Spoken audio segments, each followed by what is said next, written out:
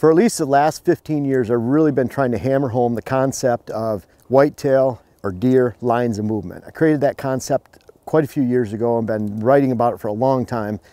And really, it's a concept where you're hunting deer and you're creating movement for deer or you're finding that movement on uh, public land like I wrote about in my first uh, habitat book. But you're looking for that movement, creating that movement, and it's movement that goes between bedding and feeding.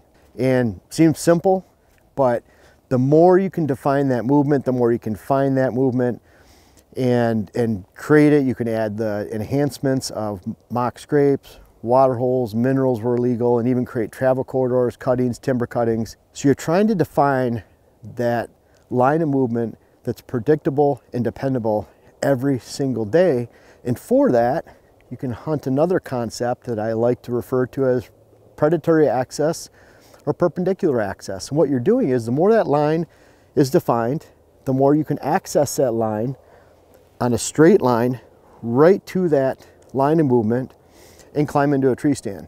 So really your closest point of intersection with that line is your tree stand. Now contrary to that, you might you could walk in at an angle to that movement or alongside that movement. Then you're exposing yourself to that movement for a great distance. Here, the shortest distance possible is you're accessing on that perpendicular line. You have that clean access where you can walk to that point, climb into a stand, and then look down and see where you're hunting.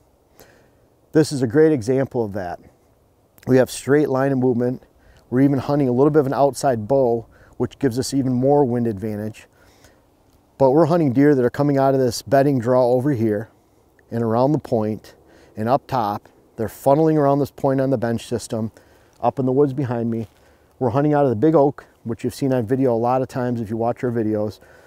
And then we're watching deer as they go across the bench and they're hitting the mock scrape we have there, the water hole, all the rubs that are up there, some signpost rubs, and they're just plain passing through It's a great spot to hunt in the evening or morning because we can get in and out pretty predictably without spooking deer.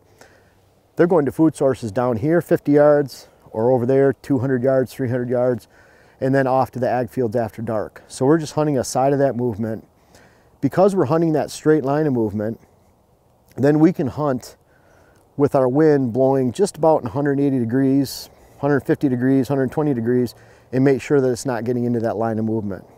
Now because we're hunting a little bit of an outside of a bow, we can hunt with a little bit more wind direction and wind width so that we can hunt that stand right there and let it blow down in a pretty big area here, pretty wide area, and not spook deer. The opposite of that would be as if we had deer movement coming from here, going to here, and then we're hunting this little inside angle. Our wind has to be very precise to blow out to not spook deer right in this direction. So think about that. It's called perpendicular access you're hunting a whitetail line or deer line of movement that you've created or identified on public land.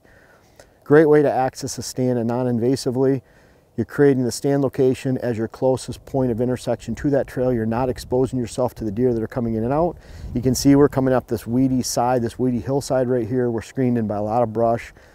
We climb up an oak tree that's probably 30 inches plus in diameter huge oak tree. We can climb all the way up that, have a deer that's 40 yards away up in that line of movement, and we can get into that stand without spooking them.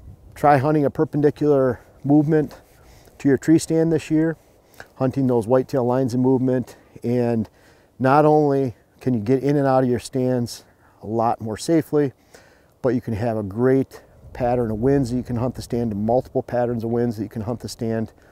And at the same time, your success rate should skyrocket because you're hunting a highly defined movement and you're just getting a glimpse as they pass by. Try it this fall and I think you'll experience a high level of success and you'll be very happy you tried.